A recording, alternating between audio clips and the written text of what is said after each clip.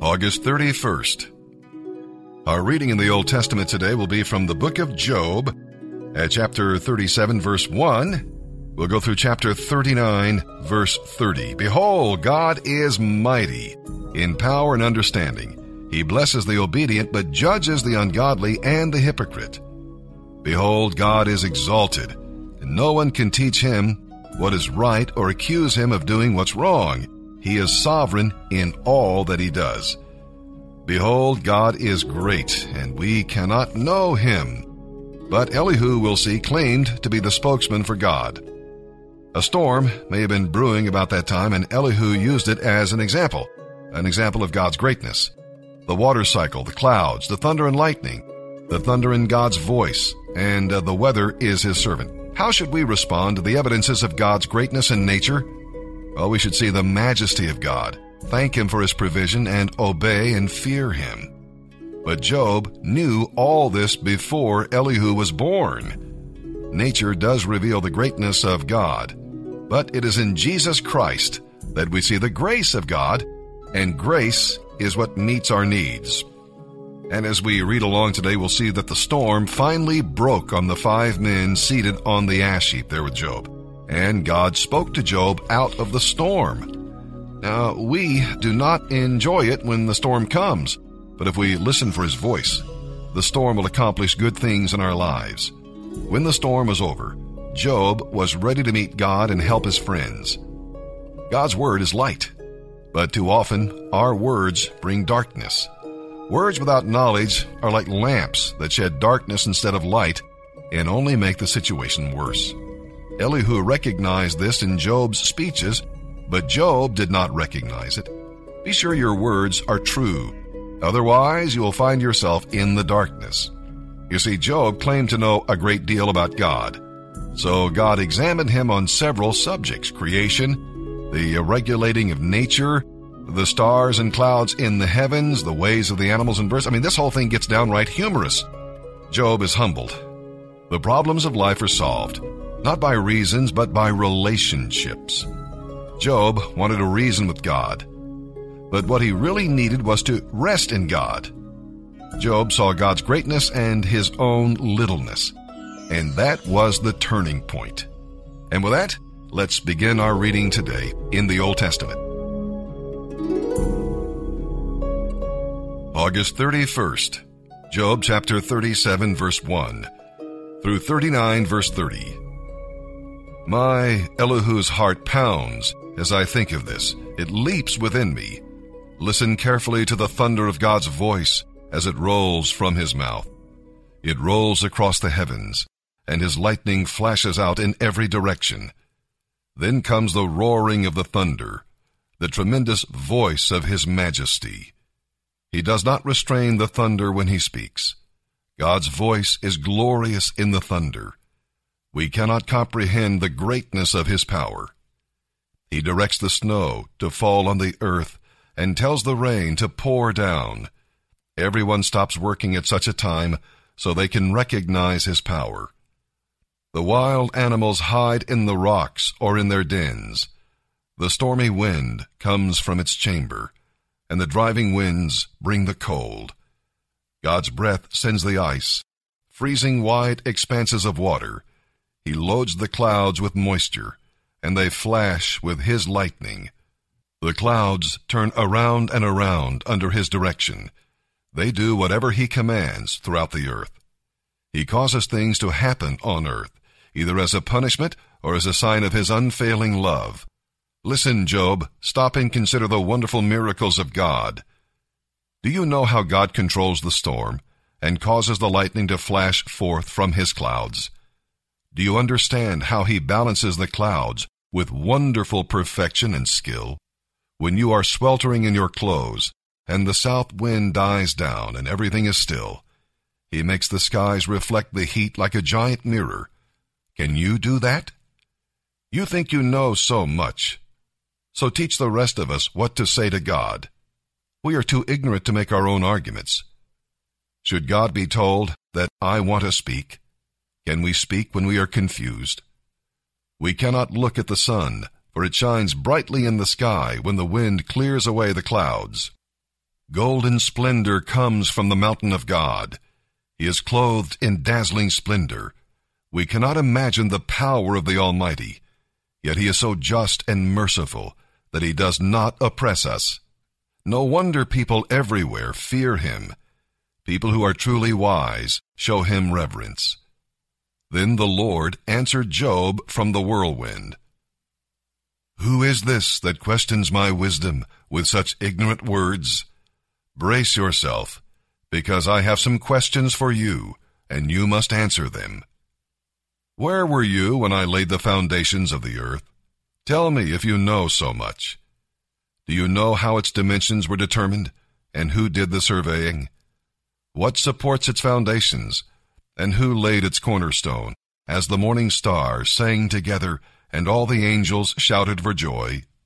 Who defined the boundaries of the sea, as it burst from the womb, and as I clothed it with clouds and thick darkness. For I locked it behind barred gates, limiting its shores. I said, Thus far and no farther will you come. Here your proud waves must stop. Have you ever commanded the morning star to appear and caused the dawn to rise in the east? Have you ever told the daylight to spread to the ends of the earth to bring an end to the night's wickedness. For the features of the earth take shape as the light approaches, and the dawn is robed in red. The light disturbs the haunts of the wicked, and it stops the arm that is raised in violence. Have you explored the springs from which the seas come? Have you walked about and explored their depths? Do you know where the gates of death are located? Have you seen the gates of utter gloom? Do you realize the extent of the earth?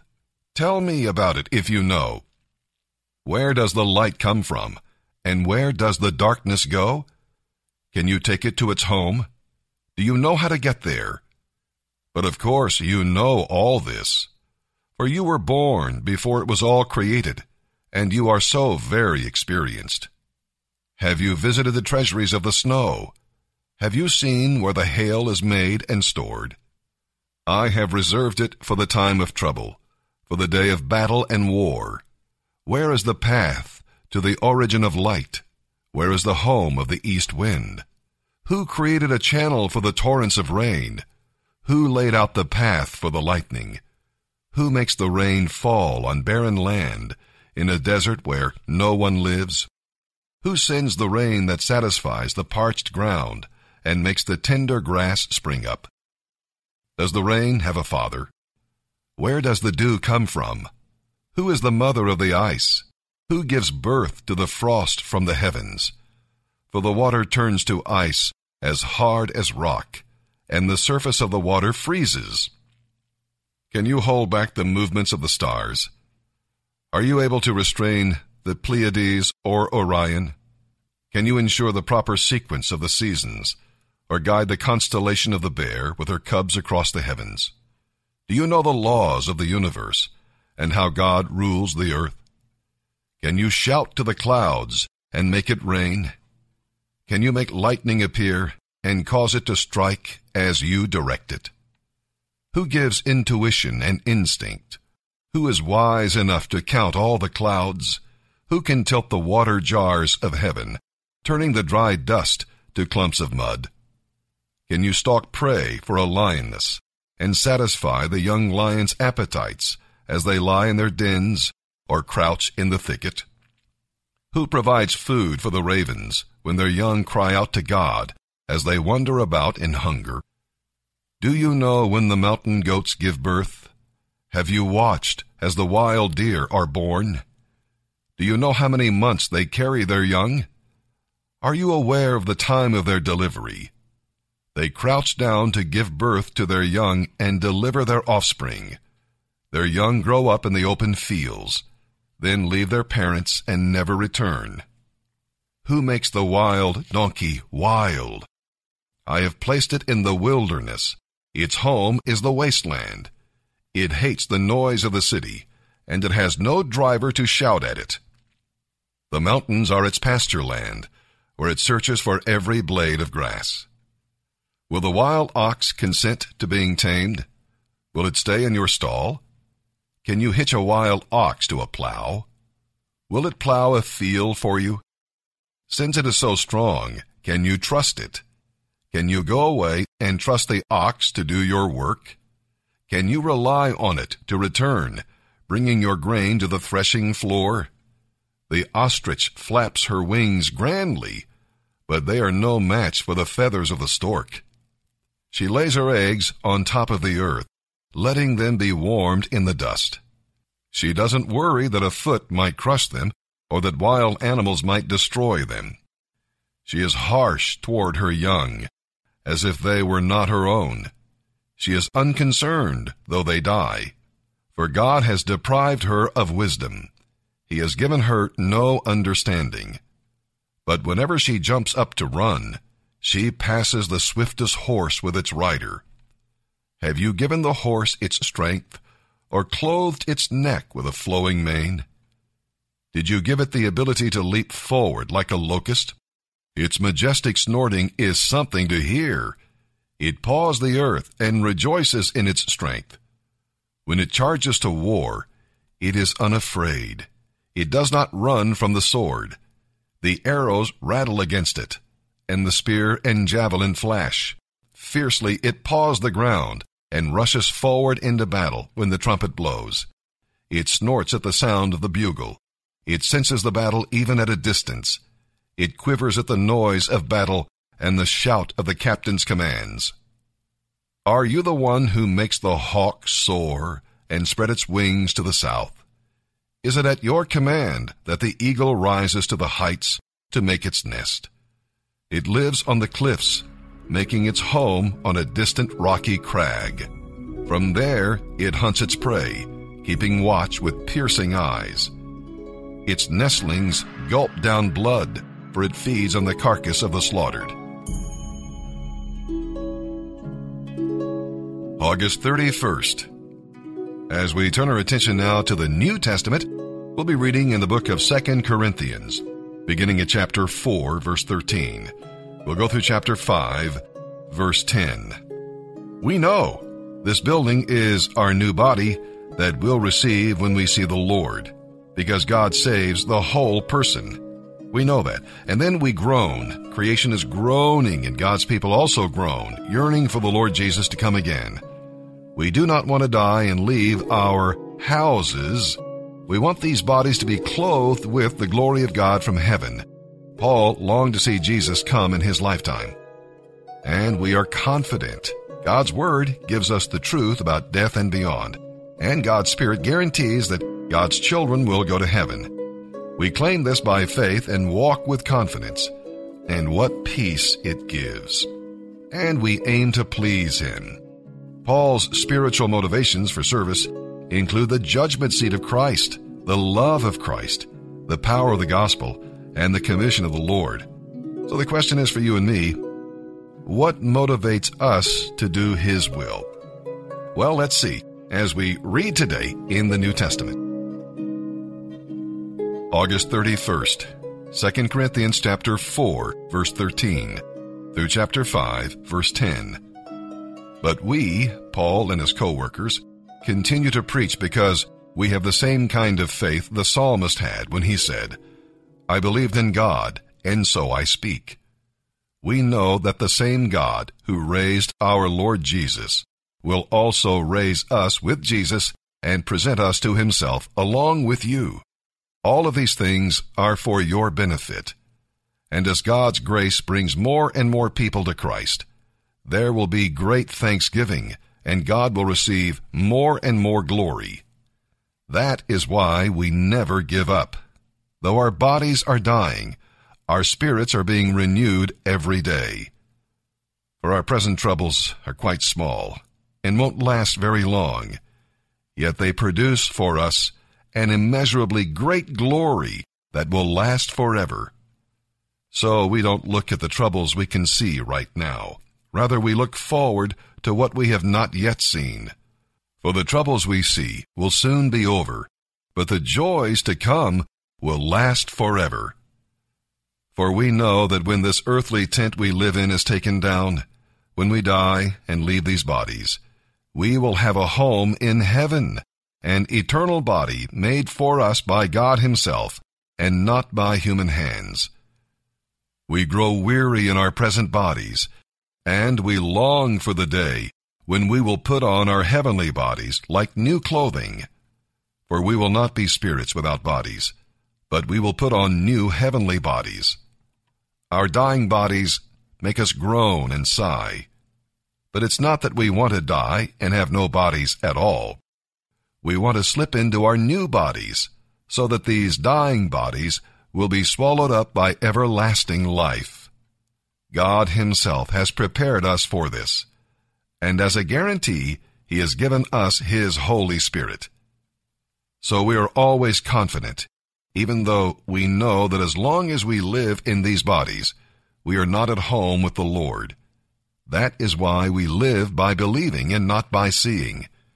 Yes, we are fully confident, and we would rather be away from these bodies, for then we will be at home with the Lord.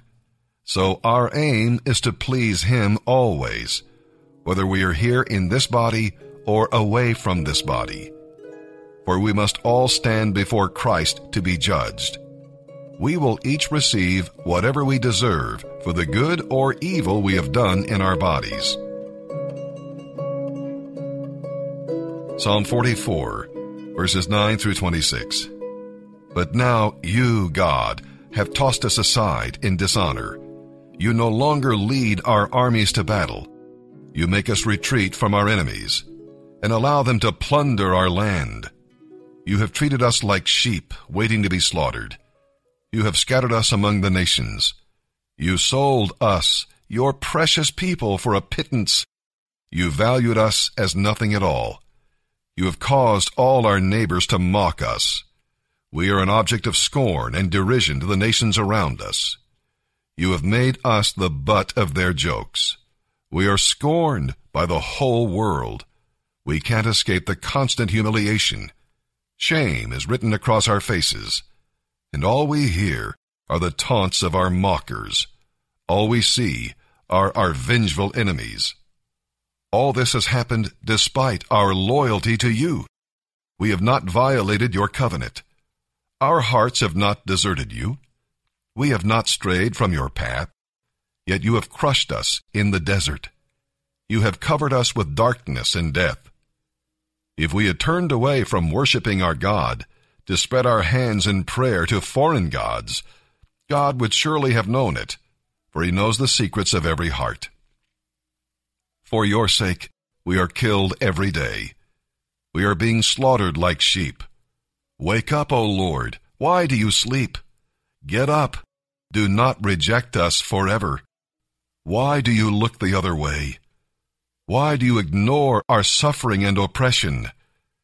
We collapse in the dust lying face down in the dirt. Rise up, come and help us. Save us because of your unfailing love. Proverbs 22, verse 13. The lazy person is full of excuses, saying, If I go outside, I might meet a lion in the street and be killed.